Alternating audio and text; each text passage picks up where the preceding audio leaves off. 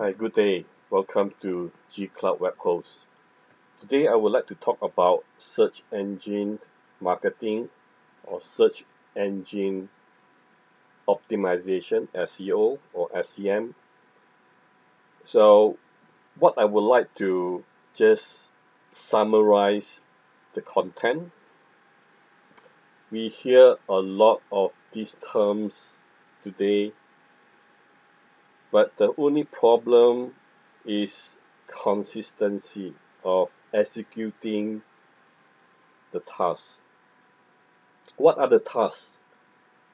Only two simple tasks in SEM and SEO. The first one is keyword research, task number one. And task number two is content management. So if you can fulfill these two tasks consistently, then you will be the winner of this game. So the details of the article, uh, I will leave a link to the video.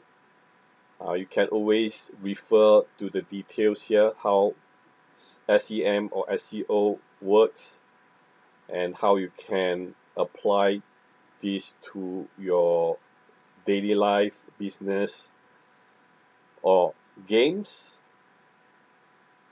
Um, if you have any question, just leave the comment. I will try to get back. Thanks for your time and cheers.